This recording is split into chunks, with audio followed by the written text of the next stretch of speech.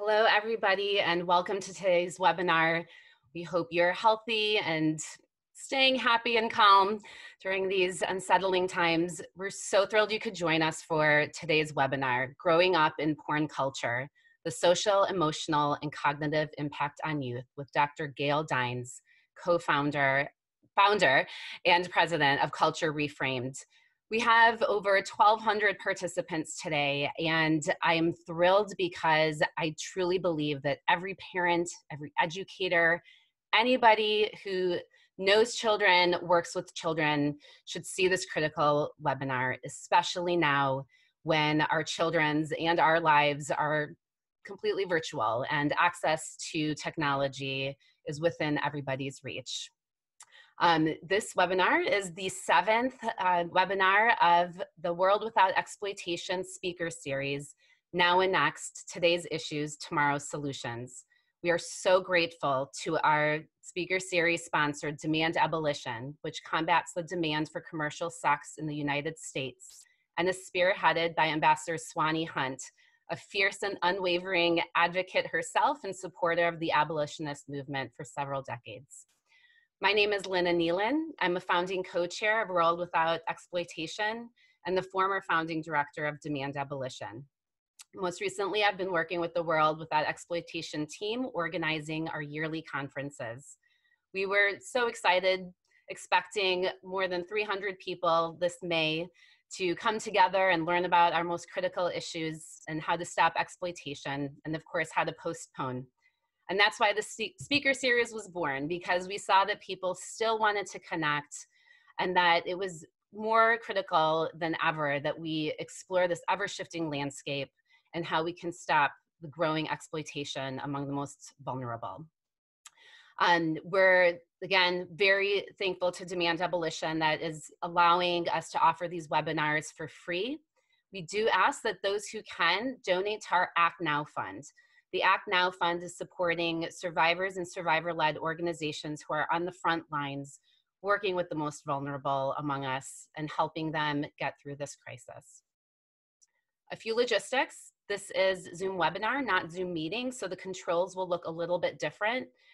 You should see the speaker in the presentation at all times, so if you don't, um, please chat me and I'll, I'll see what I can do to help. Um, we will, the presentation will be about 40 minutes. We will have 15, 15 or so minutes um, for Q&A at the end. Please use the Q&A icon on the bottom of your screen to send questions.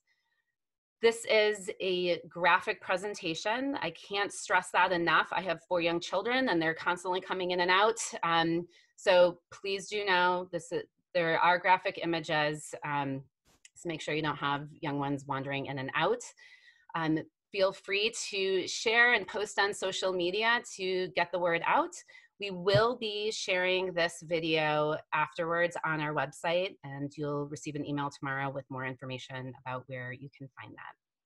So now I would like to turn it over to the National Director of World Without Exploitation to say a little bit more about our coalition and introduce our incredible speaker. Thanks so much, Lina good morning, good afternoon, good evening. I'm seeing in the chat um, people have joined us from all over the world, and that is so incredibly exciting for us. We, at this critical moment at World Without Exploitation, have been so inspired to watch week after week our numbers growing and people coming together in community to learn together. I want you to learn about World Without Exploitation, but I recognize in this moment that time is precious, especially with this incredible speaker. So I'm gonna move right ahead to introducing Gail Dines. Before I do, I also want to thank um, Swanee Hunt and Demand Abolition so much for sponsoring this series. We are immensely grateful for your partnership, for your wisdom, and for your support. And now to Gail. So Dr. Gail Dines is the founder and president of Culture Reframed and professor emerita of sociology and women's studies. Having researched and written about the porn industry for more than 30 years, Dr. Dines is internationally acclaimed as the leading expert on how pornography shapes our identities, culture, and sexuality. Dr. Dines is the co-editor of the best, best-selling textbook, Gender, Race, and Class in Media. Her book, Pornland, is literally a Bible, um, Pornland, How Porn Has Hijacked Our Sexuality. That has been translated into five languages and adapted into a documentary film, and it is seriously a must read. Um, Dr. Dines also has a TEDx talk on YouTube, which is a must watch. Um, and with that, Gail, thank you so much for joining us. We're so excited to have you, and we can't wait to learn from you. Hi, can you see me? Yes, you're perfect. Great. I, will stay on until your screen is shared, and then I will hop right off. Okay, you're in good shape. Okay, so what I want to talk about is really what's going on in the world of young people and what it means to grow up in a porn culture and a hypersexualized culture. And we actually at Culture Reframe call this the public health crisis of the digital age. Now, the problem with this is it is a stealth public health crisis. It's stealth because many parents, educators, experts in the field don't actually know what's going on and the shifts and changes with pornography. And I've spoken to many major organizations who really should know what's going on because they've been tasked with taking care of kids. So, who really do know is um, the media. And I want to give you an example from Details, which is kind of cosmopolitan for boys. For, and what they had an article called How Internet Porn is Changing Teen Sex. And they interviewed Joanna Angel, who is a pornographer. And she said, the girls these days, they just seem to come to the set porn ready. Now, that's a really important concept. And the question is, what does it mean? And I'm going to argue that we're not talking about just women who end up in the sex industry, but that actually we're talking about a mass socialization of all of our girls being porn ready, whether they ever end up on a porn set or not. And how do they get to be porn ready? Well, to understand this, we have to think about what it means to live in a porn culture and the images. And the fact is now that this generation today was brought up where the image, not the printed word, is the major form of communication. And as Neil Postman once said, we developed some immunization to the seduction of eloquence of the printed word. We have not developed any immunization to the seduction of eloquence of the image. And if we go through the main images we see that young women and men, but mainly young women, are just thrown at, we see this constant bombarding of hypersexualized imagery. Example, the Kardashians, and I think it's really important to be aware that the Kardashians is not so much a family as an international corporation with a brand that is beyond most brands in terms of its ability to harness capital and to be well known across all platforms, including Snapchat and Instagram. And especially the younger one, Kylie Jenner, who's on Snapchat all the time with selfies, which I'm going to address a bit later. So again, when we think about the images that bombard us and the way that women's bodies are always shown cut up into bits and pieces, and really think about this for a moment. How many women out there listening right now do this to yourselves? Where you look in the mirror and you cut yourself up into bits and pieces. This bit needs work, this bit needs work, every bit needs work, everything needs help. And of course, in order to do that, you have to spend money. So it's really important to think about this women's self-loathing and girls' self-loathing as a way to increase profits and the ways in which often it's women of color and women from the developing world are making products for more privileged women clothes, makeup, hair, hair products, etc. And in fact, much of global capitalism depends on the exploitation of this female labor, but we never really talk about that. And we never really discuss the ways in which these young girls have to develop a sense of self surrounded by these images that, again, are just throwing them images that are impossible to compete with. Now, it is mainly a white world. It's actually starkly right. We do let some women of color in, especially if they're like Beyonce or Rihanna. But overall, what we're talking about is a world where the beauty standard is white, thin, young, and impossible to live up to. And even the women in the images don't look like this. These are super airbrushed images, they're technologically enhanced. And I want to just talk about, for example, um, how this image works. So let's do some stuff around visual grammar here and look at who she's speaking to, because there's this concept in media theory called the reader inscribed in the text. And I want you to look at her and ask who is she talking to? And ask yourself, is she speaking to her mother saying, let's go for a cup of coffee after the photo shoot? Highly unlikely.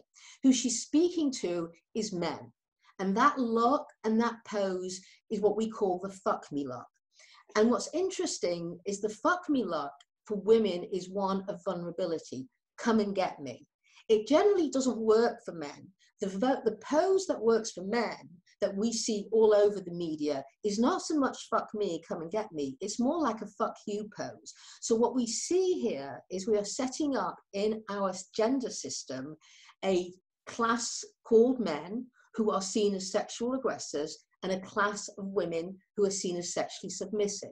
This is why it's really important to think of violence against women, especially rape, as not a form of deviance, but actually as a normalized part of a culture, especially a porn culture. And that's why many of us argue that men who rape are not actually sexually deviants, they're over conformist to the messages of our culture. So the girls really have, the young girls have a choice. They can either conform to pop culture or they can become invisible.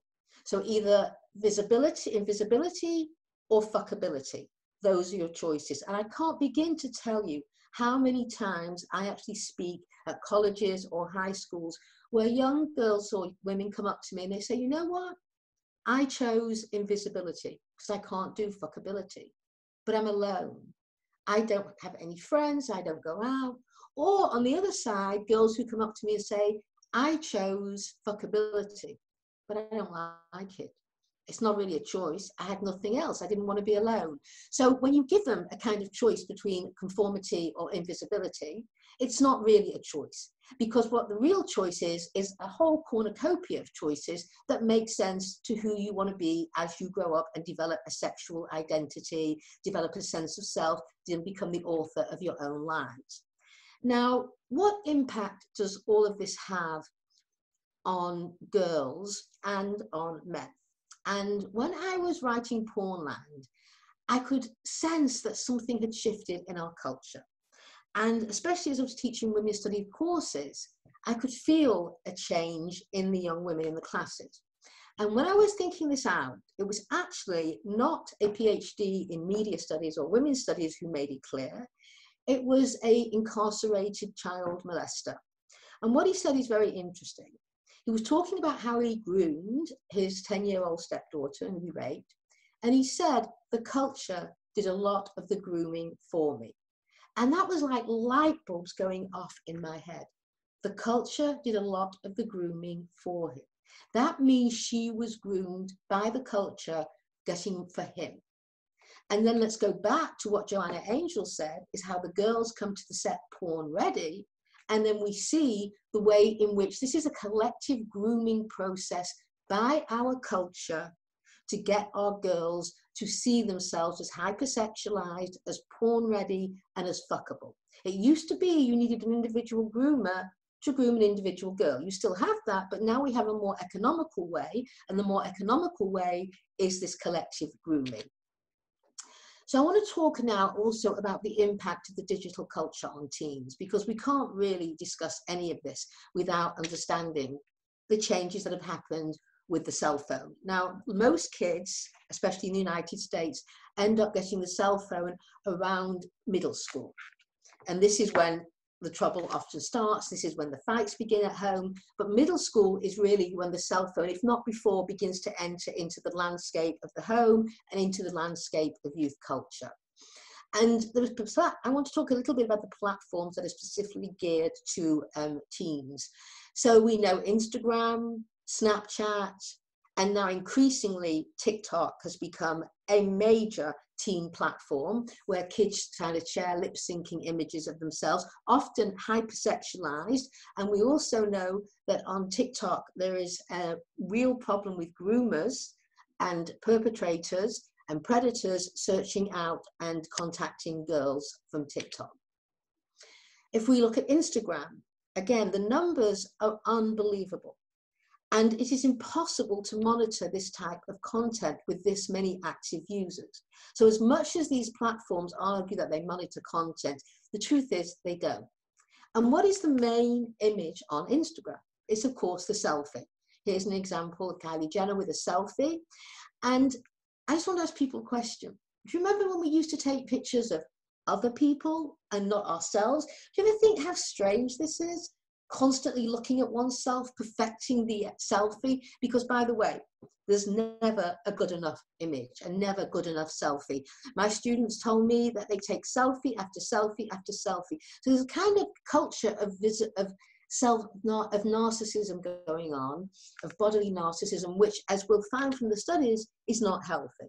Now, just to give you an example of how much selfie culture is part of youth culture, 74% of Snapchat photos are selfies, 93 million selfies taken each day, 19 out of 20 teens have taken a selfie, and a lot of the time these selfies are hypersexualized. What are the effects of this? Well, the APA report, American Psychological Association report on hypersexualized culture, found that self, girls tend to learn to self-objectify through living in a pornified, hypersexualized culture. And the effects of self-objectification are anxiety, depression, body loathing, risky sexual behavior, self-harming, etc. So this has a really negative impact on the sexual cognitive and emotional development of our girls. Also, in a recent study by the Royal Society for Public Health, they found that Instagram was deemed the worst app for mental health and well-being because that led to, as I, they said, increased anxiety, depression, bullying, and FOMO, fear of missing out. There's no going home. There's no closing the door and saying, I'm done for the day. I'm away from the mean girl syndrome. I've just got some time alone. When you have this to your ear or you're constantly looking, you're constantly on. And there's no respite from being part of this porn culture. Now, I also want to talk about perp culture part two, because I really believe that the porn culture is perpetrating against our boys as well. And to begin to understand that, let's get into, again, Details Magazine, the same story, where they wrote, there's an entire generation of young people who think sex ends with a money shot to the face. For those who don't know, a money shot is ejaculation on the face. And the reason they're saying this is virtually all porn movies today, almost impossible to find one that doesn't, ends with the man or men ejaculating onto the face or into the eyes of women. And when the studies and they ask young men, what is the one sex act you really like to perform? What often comes up is, I want to come on her face. And I know when I was growing up, if some guy would have said, Can I come on your face? You would have run a mile. What, are you talking about? What is this? So, this is the way in which, again, porn culture has shifted what is normalized sexual behavior. Now, on top of this, we have a, what we call a parental naivete gap. And what that means is that most parents really underestimate how much porn their kids see. They also don't know what porn is. And many will say, not my kid he or she, but mainly he doesn't look at porn.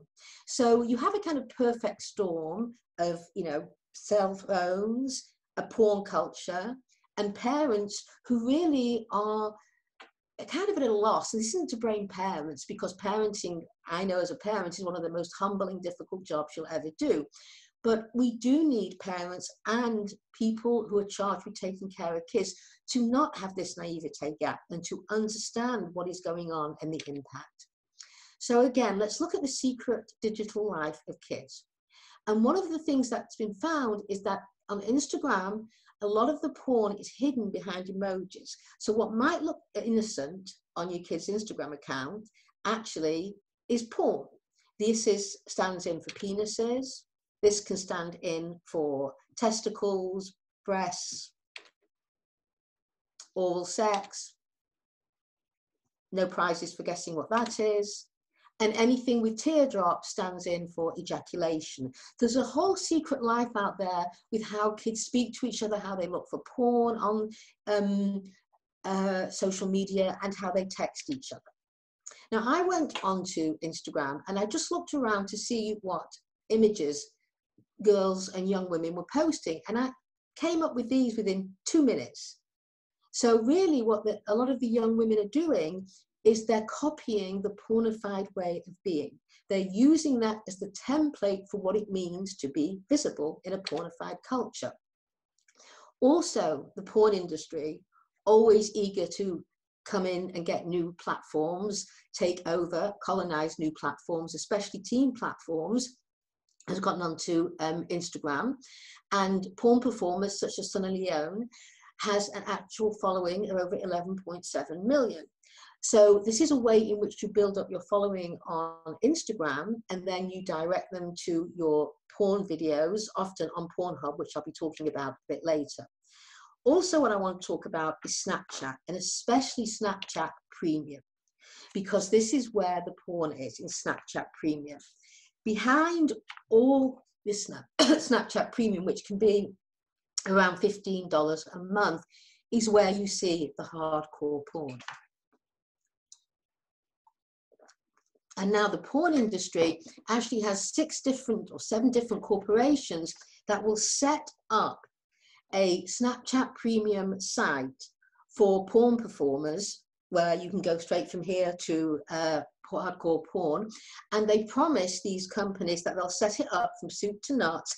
And if Snapchat finds it and takes it down because it's too explicit, they'll have you up and running within 24 hours so that you don't lose any revenue or any fan base.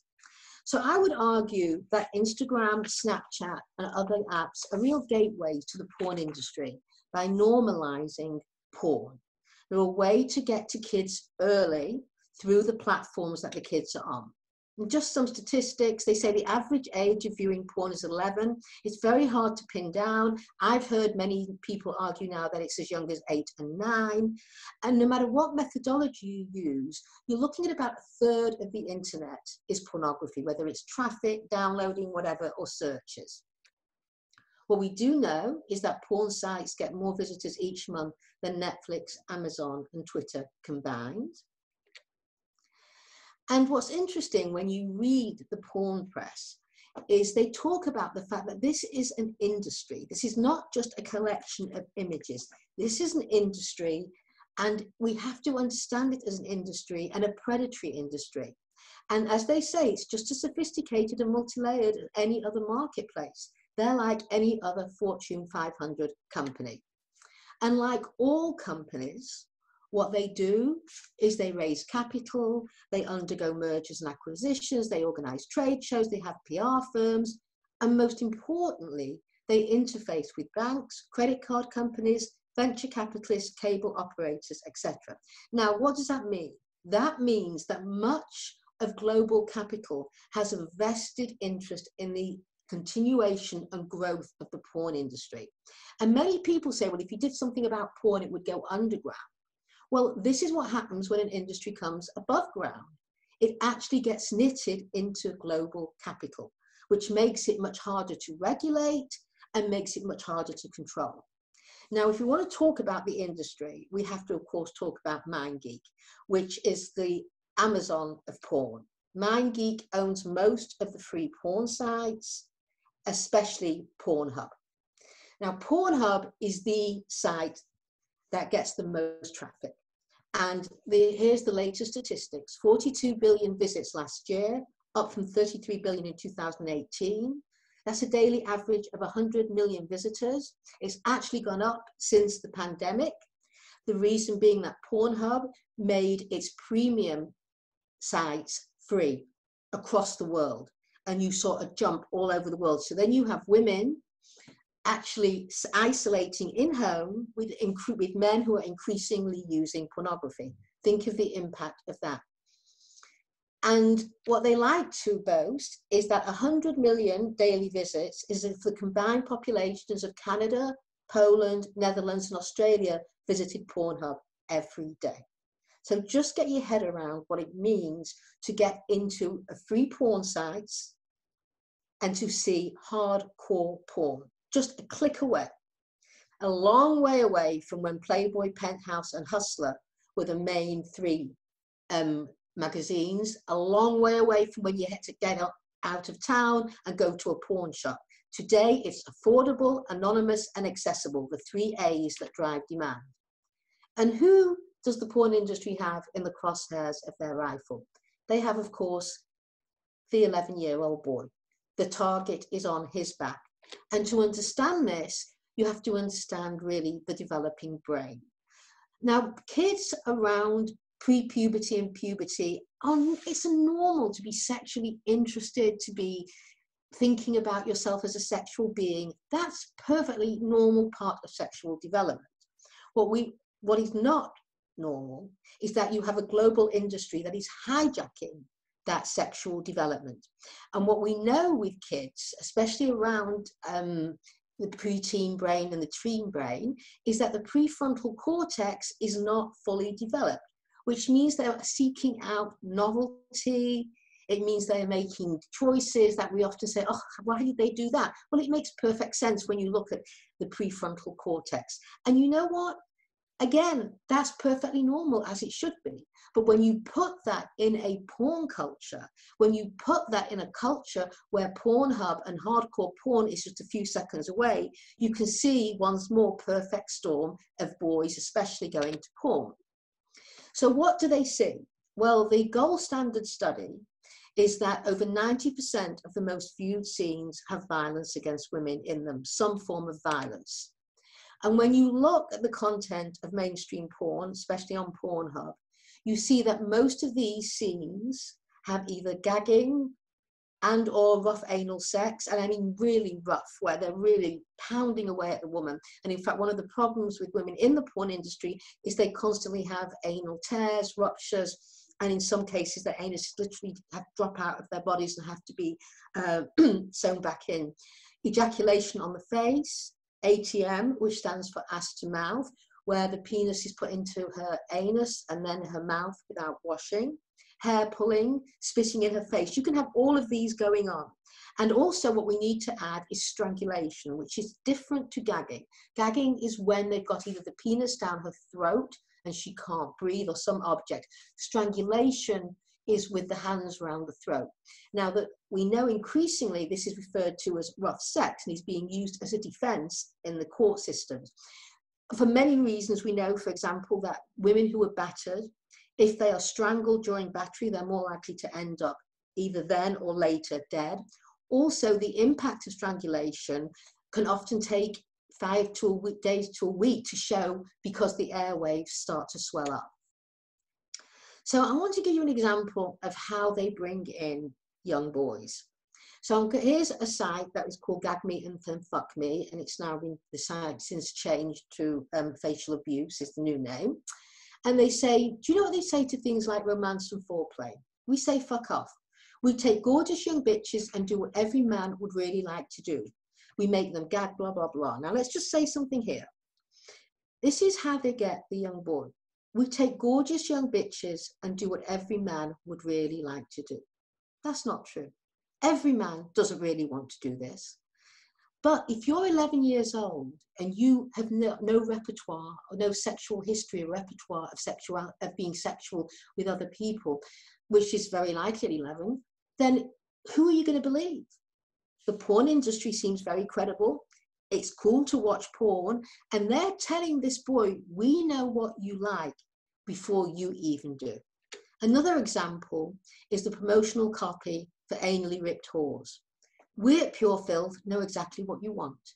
Chicks being asphalted till their sphincters are pink, puffy, and totally blown away. Adult diapers just might be in store for these whores when their work is done. And I want to be very clear here. I'm not picking the worst. When just going around Pornhub or other sites, these are the kinds of things you see. Now, again, look how clever this is. We at Pure Filth know exactly what you want. No, you don't. The 12 year old boy who puts porn or butts or whatever into Google is not looking for this. He's looking maybe for a pair of breasts, maybe if he's lucky, a naked woman, if he's stray, but he's not looking for this level of violence. But again, they're saying to him, We know you, we know exactly who you are. And I want to make it very clear. We have over 40 years of peer-reviewed research. I've just put a few up, a few meta-analyses, some of which look at 10, 15, 20, 30 studies. The jury is back in with this. There is no question. And the weight of the evidence shows the harms that porn has. And the younger you get to porn, the more harms it has. So some of the selected effects over 40 years, we found that the younger boys get to porn, the more limited capacity for intimacy, the more likely they are to use coercive tactics, including sexting, more likely to have increased engagement in risky sexual behaviors, harassment, rape, increased anxiety, depression, habitual addictive use, and erectile dysfunction. These are what the studies are now coming out with.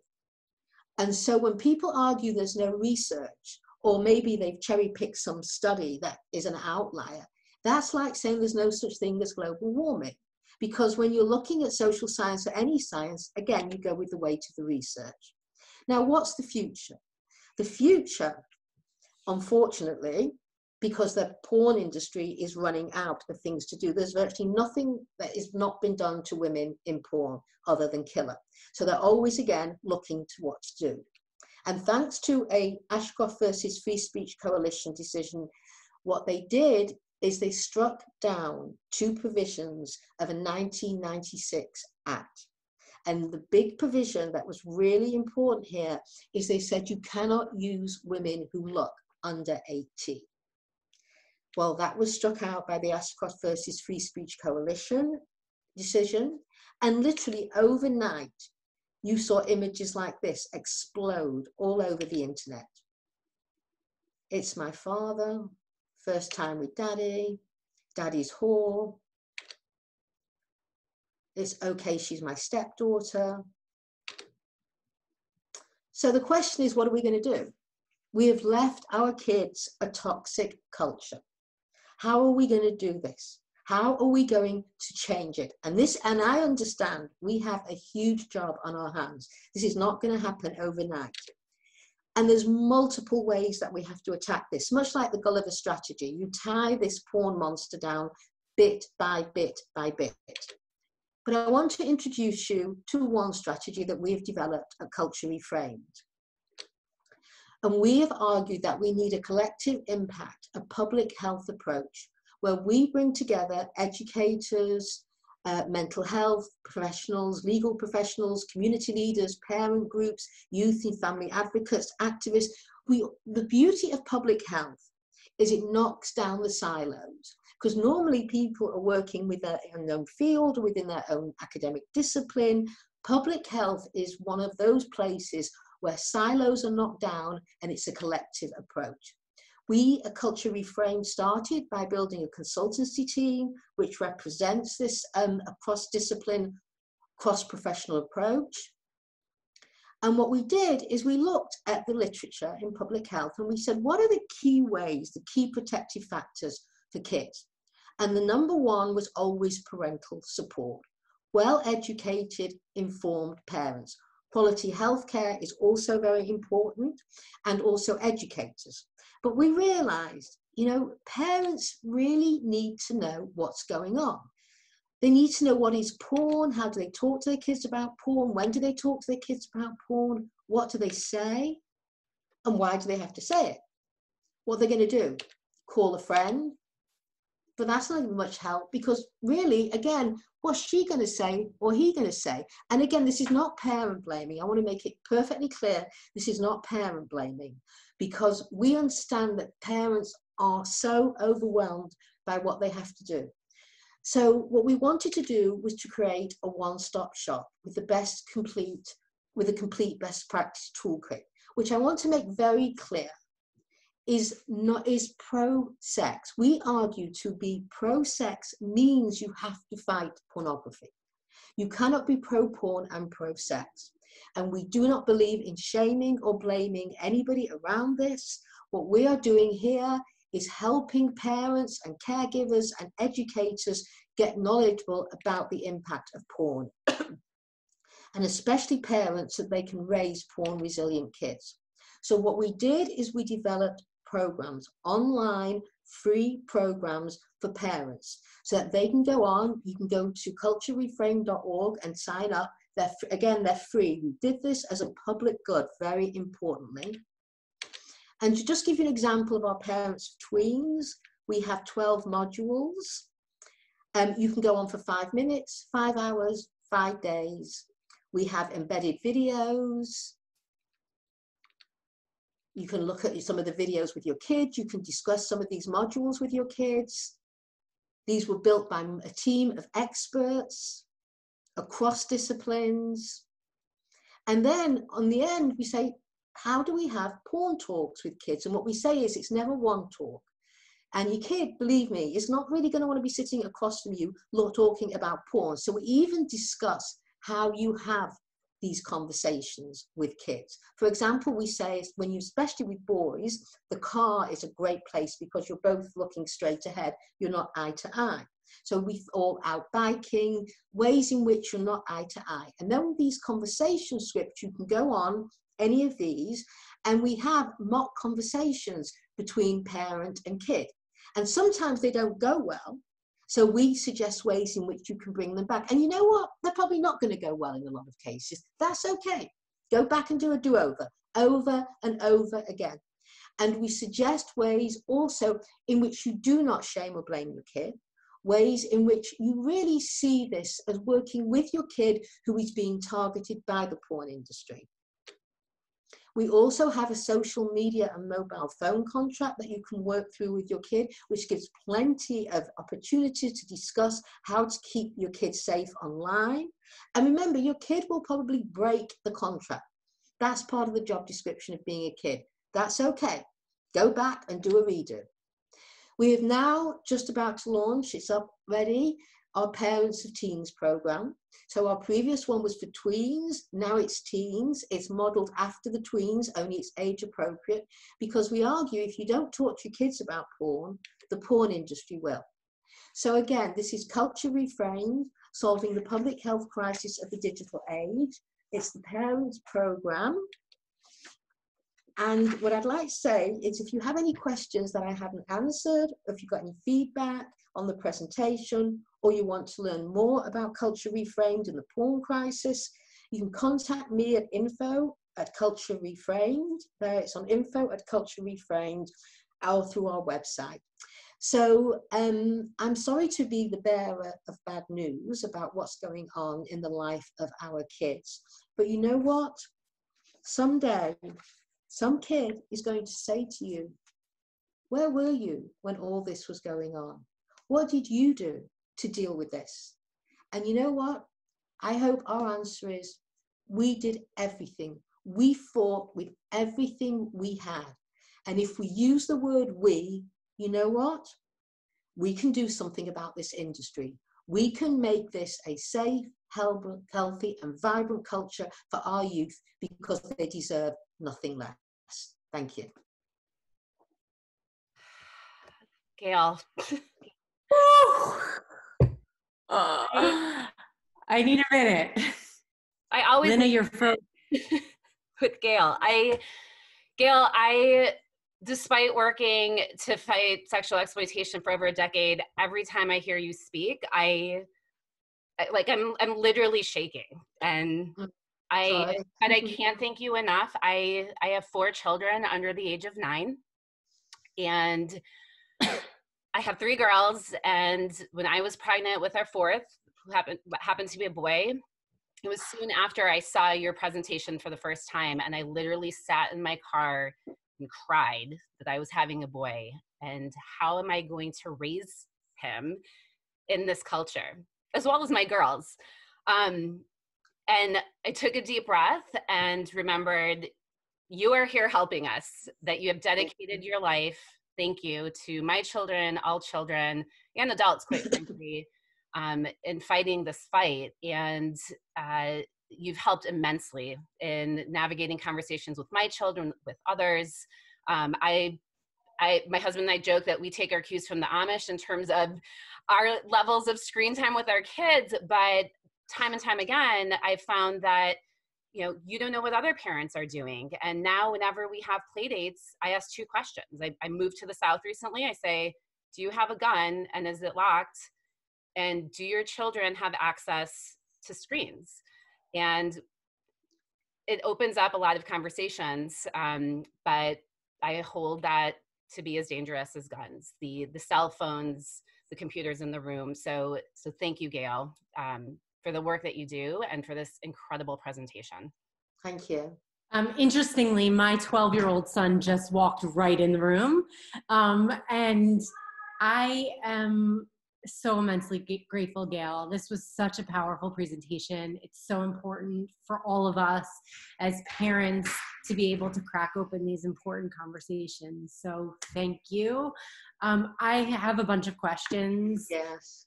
The first is what is the role? So, so it is abundantly clear that as parents, we need to be able to crack open these conversations. I'm a big believer in conversation in the car. I love it. Um, it's great. Although I, I, should tell you honestly that um, when my son came down right before you talked and he was not paying attention to science, I said, you can either sit down and, and listen to an hour on pornography or you can go up and do your science. he's like, I'm out of here. I'm out of here.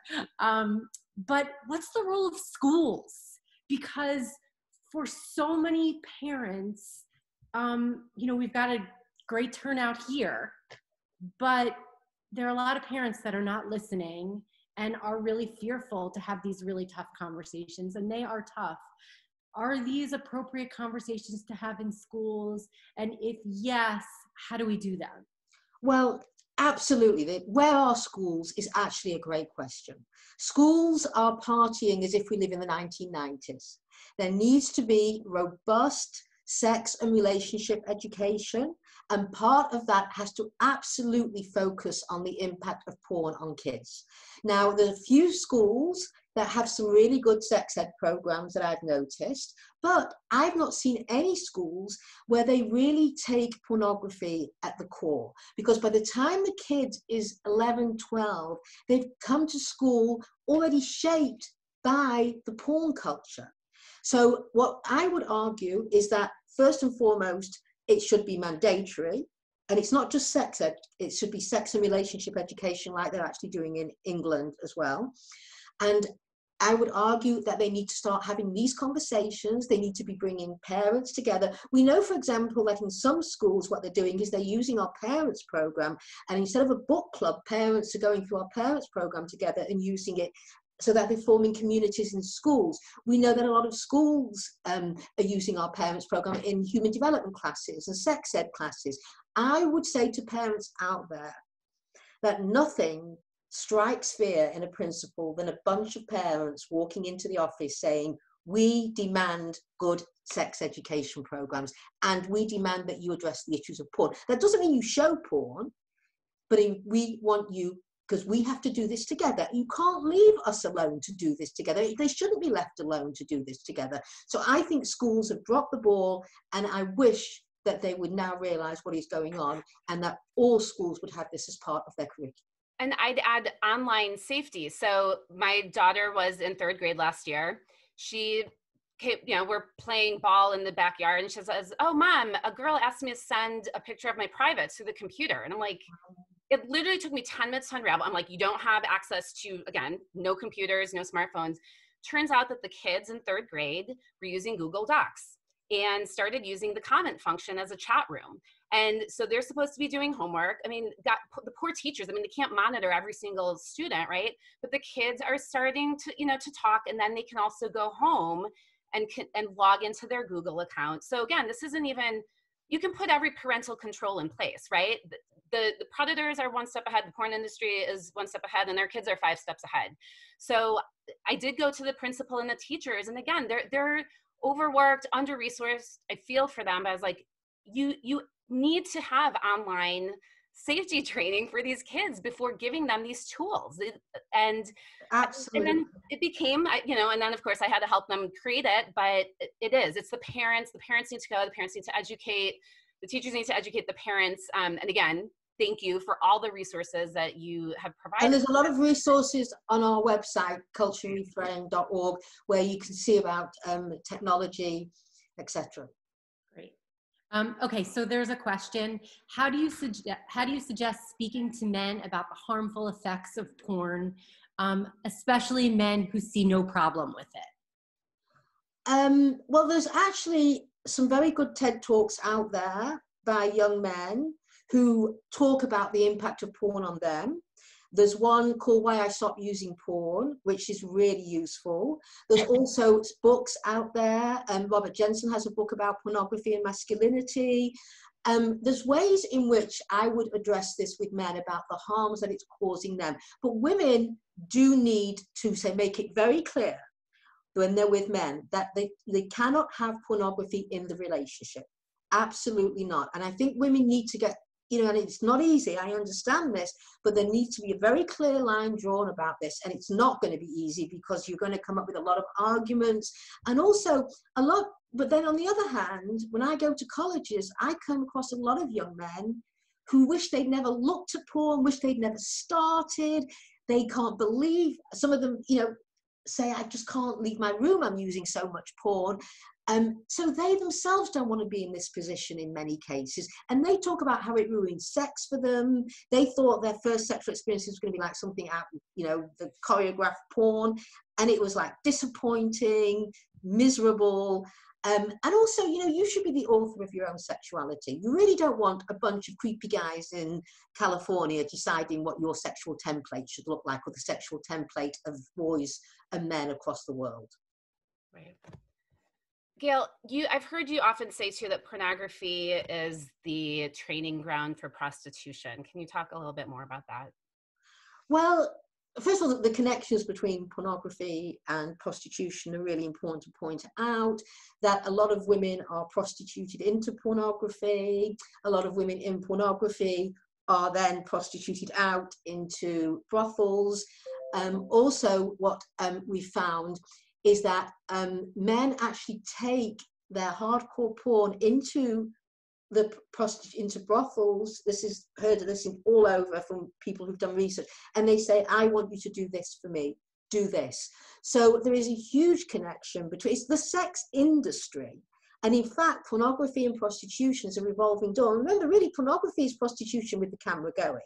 We want to think of it as some kind of glamorous, you know, we say porn star it's not porn star, it's porn performer. You've got maybe a handful of women who make money, real money, and who are well known. The rest are revolving in the sex industry, and many of them do end up, you know, it's a short hop from um, the valley in California to the brothels of Nevada. And so that's, I mean, we could go on and on about the connections. Melissa Farley does great work, and I would recommend people look at her website. Um, here's another question. Um, the money made in the porn industry is such a hugely driving force to perpetuate all the ter terrible imagery. Aside from the changing messages we give and increasing awareness of the detriment that porn creates, how can we combat the financial gain that the porn industry is receiving and how that fuels with what they put out? Well, like you do with every other corporation, you have restrictions in place. I mean, porn is the only multi billion dollar industry with absolutely no regulation. It is completely deregulated. So we need to, first of all, talk about age verification.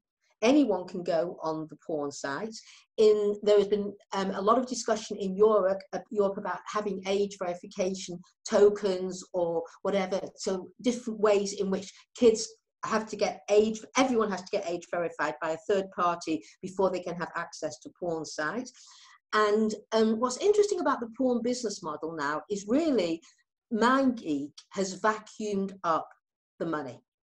They've vacuumed it up from all the other small um, producers, distributors, and from the performers as well. So I would say um, MindGeek is who we need to go after.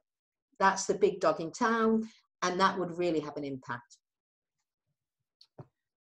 Um, and we have a question from an anonymous attendee. You spoke about a hypersexualized culture that defines gender expectations. Can you speak to that culture and its effects on the hypersexualization of young girls of color and how that has affected the way in which they are pigeonholed to those biases? The way in which what? Sorry, the last bit. Pigeonholed into those stereotypes. Absolutely. Well, and also there are different stereotypes for girls of color who are often more in pornography and mainstream culture, more hypersexualized more pornified. I mean, what pornography does is it takes the it takes the tropes of racism and it melds them to the tropes of sexism. And it gives a double whammy to women of color. So I would say that women of color, girls of color, are more at risk by this as well, more at risk by predators. We know that in terms of also of trafficking. So the more of color you are, the poorer you are, the more at risk you are by this whole industry and the racism, by the way, in pornography. I mean, you if they had that level of racism in mainstream media, it would be completely unacceptable. Yet pornography gets a pass like no other industry. I'd encourage people. We had um, Charise Hopkins from Rights for Girls speak a few weeks ago, and it was about the effects of colonization and slavery on Black women and girls and Native American women and girls in the United States and was drawing a lot of those links again with prostitution and racism certainly could be extended to pornography and this is something that we will continue through the series to examine is the racial dimensions of the sex industry and again proportionately affects women and girls of color um, where the buyers are mostly white educated men Absolutely. so um, I want to just get to maybe two or three more questions. This is coming up a, a few different times in the in the questions. Um, are there are there feminist porn sites um, which are not violent and do not put forward unrealistic body types and focuses on intimacy rather than penetration? And and what are your thoughts about that? well, this is an argument I hear a lot, and I often ask people, you know, who do you mean? And they mention people like Erika Lust, um, etc. And I've gone on these porn sites and I've looked at them. And you know what? They might use different body types of women, but you're looking at a lot of the similar stories about women as sexually um, sex objects for men, sexually disposable. And the bigger question is, you know, the first rule of feminism is do no harm to women. Do no harm. And what you are doing, whether whatever in pornography is you are commodifying and you are monetizing women's bodies and you are saying it is okay to use women sexually for male sexual gratification because men are also looking at those sites. So I would argue also that these women, all women, have a right to sexual integrity and autonomy. And images in pornography destroy sexual integrity and autonomy of individual, any individual women. Why do you have the right to look at women at their most intimate and their most vulnerable when you don't even know who they are? Mm-hmm. Um, last question, Gail, and then we're going to wrap it up because we're out of time. This um, this web series is for sure about education, but we also want to make sure that we're inspiring action. What can people do right now when they get off this this web series okay. So if you're a parent or if you're connected to kids and everyone on some level is connected to kids i would say one thing to do is to tell somebody about culture reframed and to go onto the parents program. Again it's free and that they should start having the conversations with kids so they have, we have porn resilient and resistant kids and you can't do that alone. We have built a whole program to help you do that. So spread the word, tell other people, because believe me, parents and caregivers will be very grateful to know this help. They don't know this help out there. So I would say that is the one thing. Pick up the phone, go on a Zoom, whatever, but tell somebody about the free program out there that took, you know, 18 months to build, two free programs that you can now use to have those conversations. Thank you, Gail. And again, this webinar will be posted on the World Without Exploitation website tomorrow. So you can invite someone to watch this webinar, direct them to Culture Reframed. Thank you from the bottom of my heart as a woman, as a mother, for this fight that you've been fighting for a very long time. So thank you, Gail. Thank, I, thank you, thank you. Thank you for inviting me to this wonderful series. Of course. Um, so we invite everybody to join us next week. It's no coincidence that we are going to be talking about healthy masculinity um, after this uh, discussion about the toxic culture that our young men are growing up in. We will have two of my favorite men in the world, Jimmie Briggs, co-founder of Man Up, and Peter Qualliotine, who has worked with sex buyers for several decades and is now promoting the equality model around the United States. They will be talking about their presentation is man to man, promoting healthy masculinity and ending men's violence. We challenge you to invite a male friend to listen in on this conversation. We're, we're so happy that the series has just exploded. It is still largely women. We need to engage men in the conversation, in the fight. Men need to, need to be talking to other men about um, what being a healthy and uh, supportive man is in this fight against exploitation. So please join us next week. Again, if you can, please give to the Act Now Fund to support survivors during this quarantine COVID time when the most vulnerable among us are becoming even more so. Thank you, everyone. Hope to see you next week.